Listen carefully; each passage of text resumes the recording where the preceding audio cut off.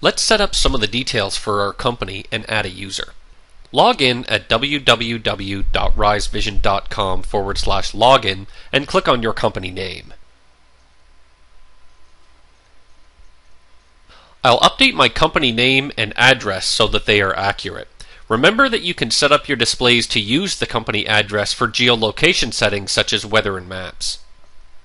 The authentication key is used by some gadgets to collect information about your company, users, and displays. Don't reset unless you have to.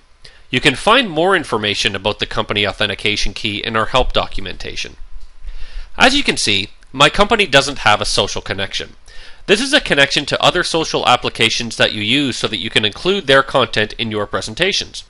So far, we have added Foursquare and we have more queued up to come. Since my company doesn't have one, let's add one. Click Add, choose Foursquare, and I'll allow rvauser.appspot.com to connect to my Foursquare account. I'll enter in my company's venue ID as well, which will make it the default. Press Save, and my company settings are now done. Now, let's add some users. Go to the Users page and click Add. Enter in the username, first and last name, and email address. I'll leave the user as active and make them a content user. Content users can manage presentations, gadgets, and schedules. Display users can manage displays, and administrators can manage user and company info. Press Save.